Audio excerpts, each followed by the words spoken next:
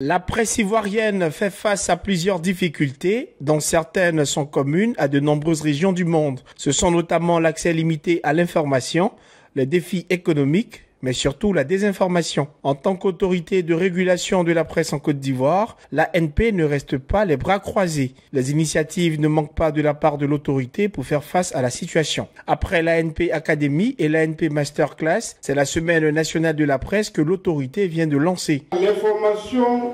Nous vient de partout à travers toutes sortes de supports.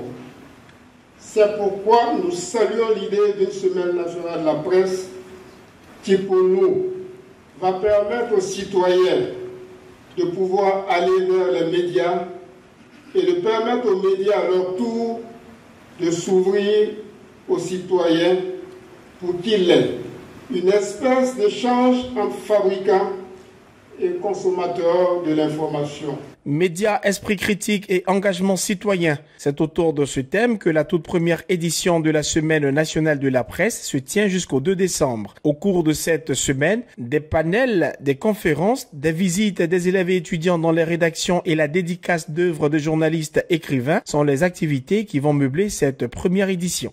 Comment amener les rédactions à prendre en compte les préoccupations, les centres d'intérêt du public?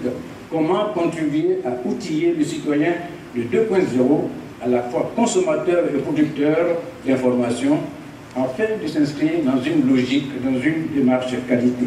La Semaine nationale de la presse offre une plateforme d'échange et de réflexion sur les enjeux actuels des médias en Côte d'Ivoire. Cette initiative de l'ANP a rencontré un large soutien avant de permettre de renforcer les liens entre les professionnels de la presse, les décideurs politiques et la société civile. Cette semaine va également contribuer à sensibiliser le public sur l'importance du travail des médias dans une société démocratique.